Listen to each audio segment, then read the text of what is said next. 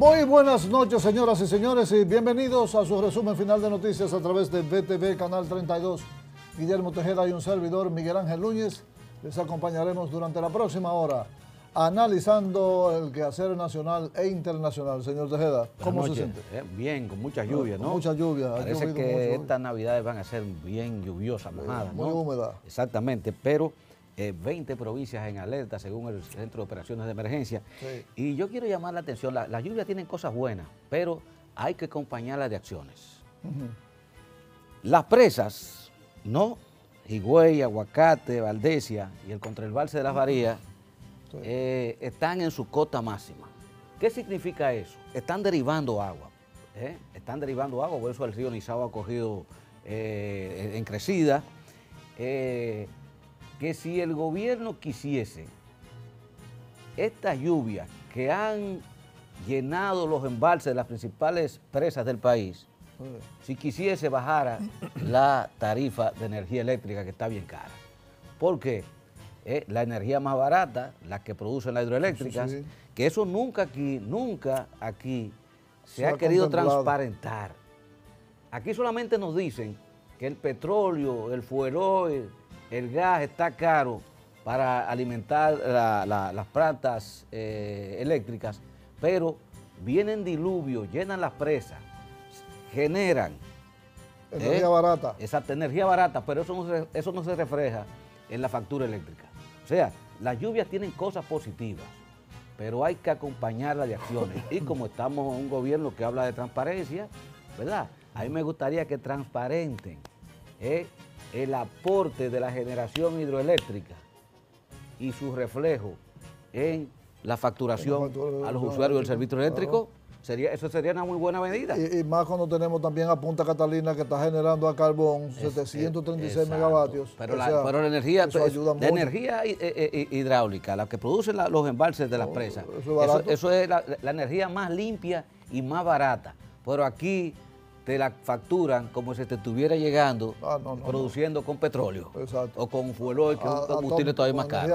Exactamente. O sea que eh, vamos, a, vamos a sacar algo positivo de las lluvias que han sido una bendición para las presas en la República Dominicana. Y a ustedes, amigos televidentes, le damos las gracias como todas las noches por preferirse su resumen final de noticias, el programa donde usted se entera de lo que otros tendrán que comentar, pero mañana.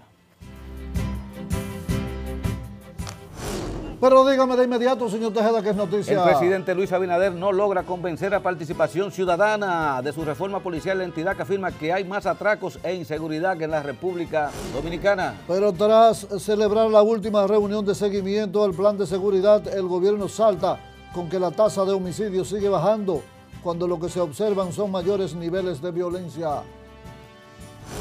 El DICRIN de la policía sigue con su gatillo alegre, provocando indignación en Asua, donde los agentes llevaron a un joven a un monte para acribillarlo a tiros.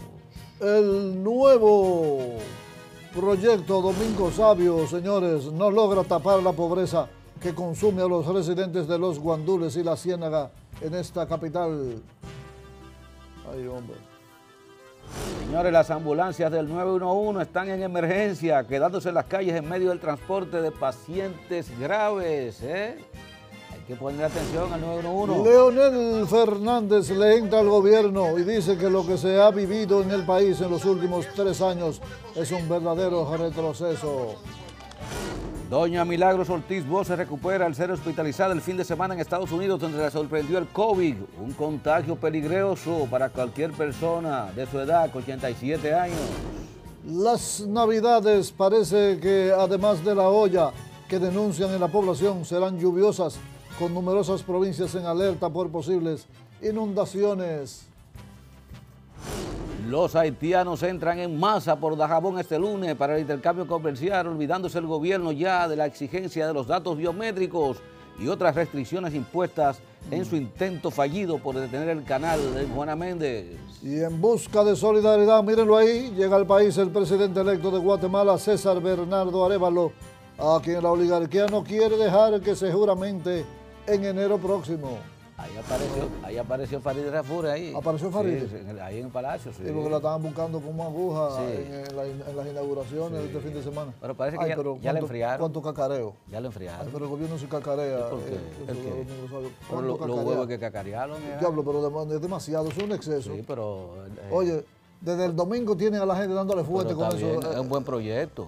Lo inició no, Danilo no, Medina en el pasado no, No gobierno. es malo, pero Lo- tampoco. lo inició, y, y hay que reconocer pero- al gobierno que le, ha- que le ha dado, está bien. le ha dado seguimiento, eh, le dio seguimiento bien, en la pero- continuidad del Estado. Está bien. Claro, en la pero- pero continuidad. eso, no es la, eso no es la panacea para la situación de pobreza de ese, de ese No, sector. pues lo que han hecho es que han puesto un muro ahí. Ah, muro, Espérate un momentito, bueno. que Domingo Sabio Bueno, es muy bonito por fuera, pero hay que meterse en la parte de atrás del muro. Este fin de semana, antes de, inaugurarlo, ¿tú lo que están haciendo? Poniéndole planchas de zinc a las casas para que no se vieran, a los, ranchi- a los, a los ranchitos. A los Pero eso, ranchitos. eh, eso, eso lo vamos a ver más adelante. Así se para inicia que no este, un parangón. su resumen final de noticias. Ya volvemos.